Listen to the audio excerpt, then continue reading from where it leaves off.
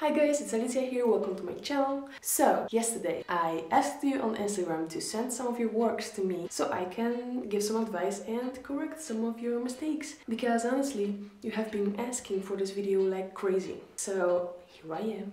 Before we begin though, a little disclaimer that I am self-taught and everything I'm going to say and do and correct is from my own experience. It's not professional. I didn't learn it from professional techniques or anything. So if you know better, you know better. Today we are going to review five drawings. I got like 100 of DMs with your work sent to me and of course I couldn't include all of them. So if you are not included in this video, make sure to give this video a thumbs up and share it everywhere you can. So you will have a chance to be included in the next video.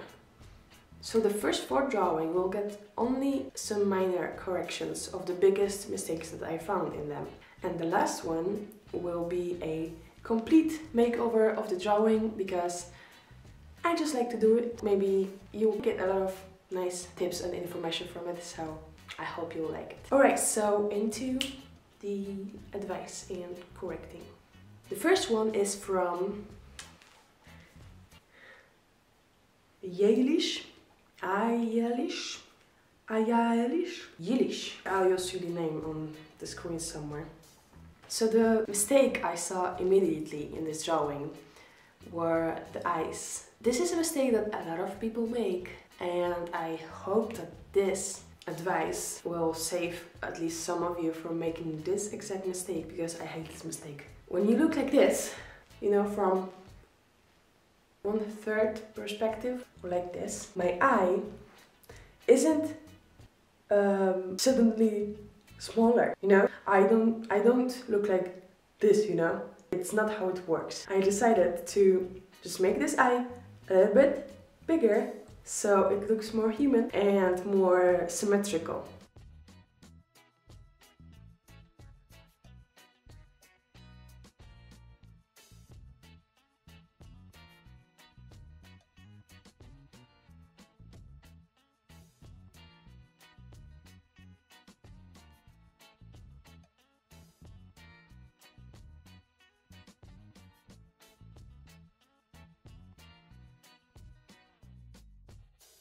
Here you can see the old and the new one.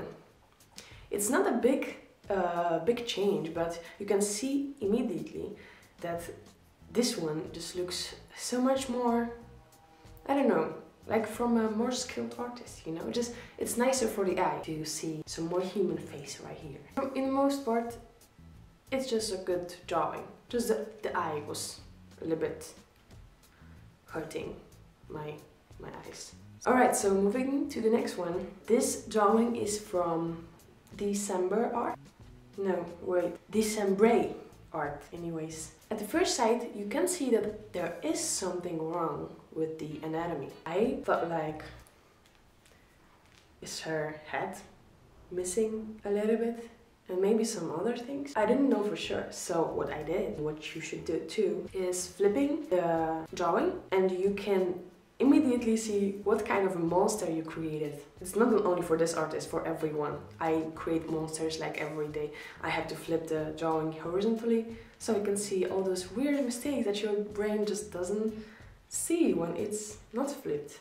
And right now, when you see all those mistakes, I just took my liquify tool and made her heck. Heck, I made her head a little bit fuller so it's not missing anymore. The other thing that I saw was the eyebrow. It's again a mistake with this this profile kind of in this position. You know, when I do like this, I don't think that you can see the whole eyebrow right here. Like, like this, you can see the tail of my eyebrow, but like this, not really, right? I hope I'm not wrong. I just took my sketchy line art brush from my sketchy brush set. You can buy my brushes in the on my website. The link will be in the description. I took my sketchy line art brush and I just drew a little bit um, extra eyebrow so it will be thick on the whole length of this eyebrow at the side. at the uh, edge. So that looked better. But I thought I was done, but something was still bothering me. It was the shoulders. I know your art can be st stylized, but I can't really see a lot of stylization in this drawing. It looks like it was supposed to be pretty realistic. So if you're drawing realistic drawing, kind of, then you should also do proportionate shoulders because otherwise it just, yeah, it just doesn't look good, you know? So I took the liquify tool and I just made the shoulders a little, a little bit broader broader, bigger, longer, I don't know. The last thing was that little thing here happening on her on her neck. You can see it's the the shading here, it's not this contrasted. When you look at her face, the shadows are not that detailed. So don't suddenly think like, alright, I'm going to create a really, really detailed part on her neck. I don't know why, but I'll just do it. Just leave it out. If it's difficult for you, leave it out in the drawing or, or take a reference or just leave it out completely. As you can see in this drawing there is a lot of proportions missing and right here I was only maybe 10 minutes busy, maybe not even, maybe 5 minutes and I was already um, getting more nice for the eye result right here. So proportions, flip the drawing horizontally and yeah the shadow. Don't don't make the shadow so so so weird right here. Well moving to the next one. The next one is from Hermione. In this drawing I almost had nothing to bitch about. Yeah only a few things though because the proportions are, are pretty good. But the only proportion that was not so good was the ear. I liquefied it a little bit. And I'm sorry because I missed the first part of correcting this this drawing. So yeah I'm sorry for that. But the things I want this artist and you if you make the same mistakes to remember are oh my god. Oh my legs are sleeping. Oh my god oh, it was not a good idea to sit on my legs. Right so number one is use the same shadow color everywhere. You can change it a little bit depending on what kind of thing is close to it like when I have a blue shirt then that blueness will reflect a little bit on my skin like slightly you know? But when I have a shadow right here then the shadow right here will probably be the same color so you use a really really different shadows everywhere like this shadow was really dark but shadow on under her neck and right here didn't look as dark. So I changed that and it looked kind of better, although I don't really like the color that you chose. If you use the same color for the shadings, your drawing will just look more whole. If you want your drawing to have texture, you need to be smart about it because you can really easily make it look dirty. Right here I'll show you precisely how you can give your drawing a texture without making it look dirty. What I do always and what I recommend you to do, if you want texture, first look at the whole area, color it in, um, shade it just without the texture and add the texture later. It's way easier, believe me. So you can first focus on the good colors, good shadings, good shade, shade, shape, good shapes of shadings and everything and then you can focus on texture.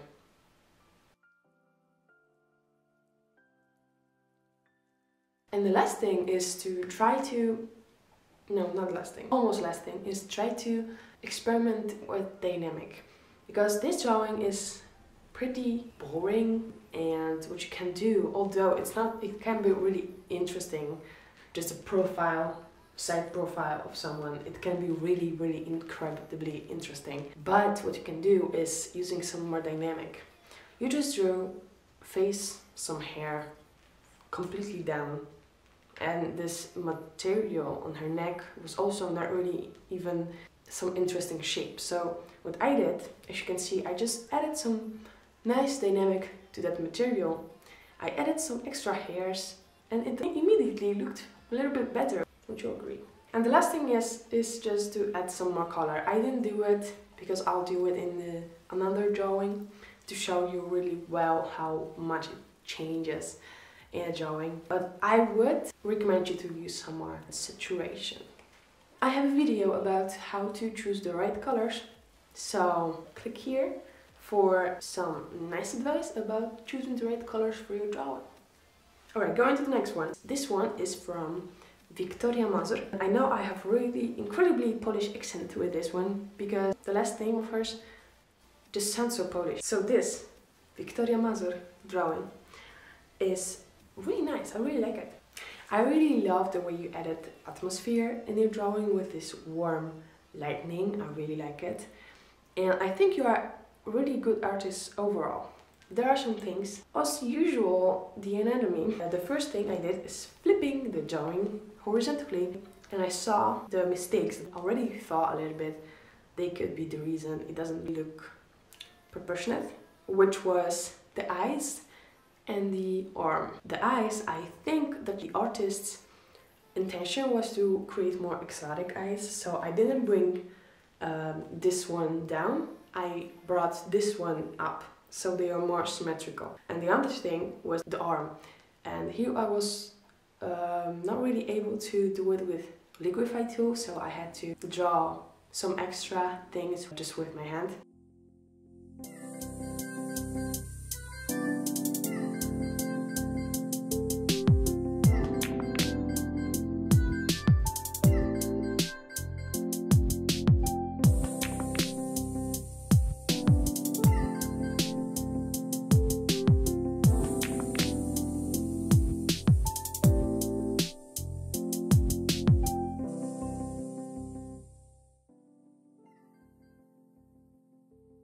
So yeah, it comes back to just searching up some references.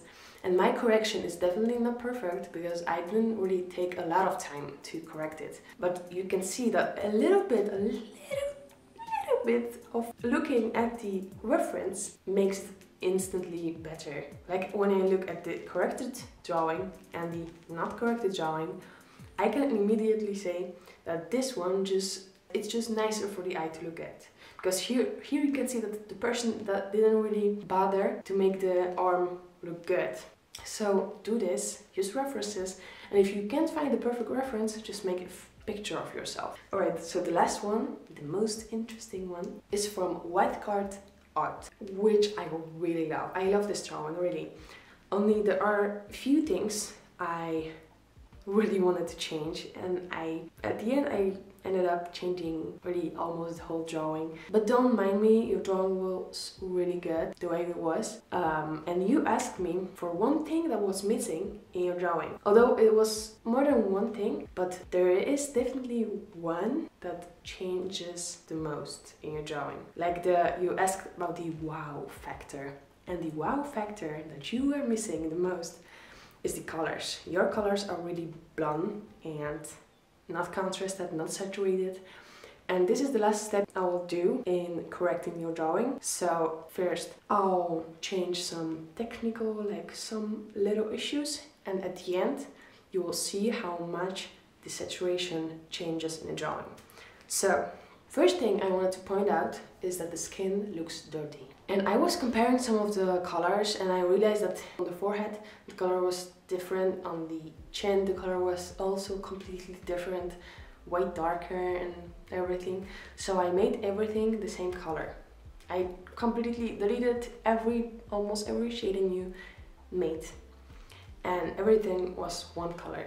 So that's definitely the base you should make. And one little tip, when you are drawing from a reference and you are picking up the colors from the reference with the color pick tool, remember that draw that pictures are really tricky and you won't probably get the exact color like on the picture because they are so pixelated that every mini mini mini millimeter apart you can get completely different different pixel colors. So just don't just pick up the colors from the reference picture, you can first or blend it out so you can so you get one one smooth color that will be more accurate or just try to get the color from looking at it. Don't just pick up the colors from the reference picture. And you were using also way too much grayish colors.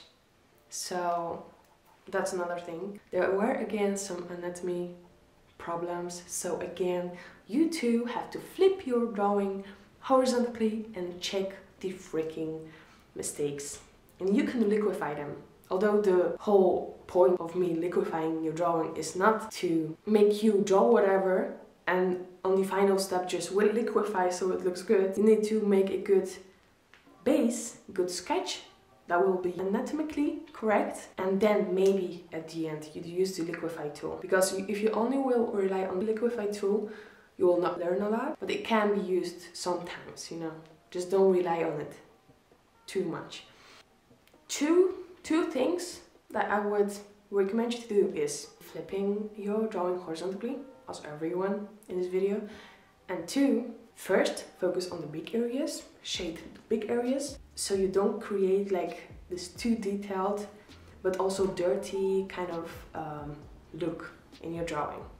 You can see everything I did in this video anyway so I hope you understand and the last and the most important for you in this case is adding some color. I just added some layers on the top. I was just experimenting a little bit. Like some blue, some orange reddish kind of contrast. And it was so much better. Like that's the depth that you need in your drawing. The, the water was more blue, the uh, cheeks were more red and if you have one color that is contrasting with the other color you need to have it coming back somewhere in the drawing. So I used the same color, I added it a little bit on the eyebrows, on the hair, on the cheeks and on the lips. So the whole drawing comes together again.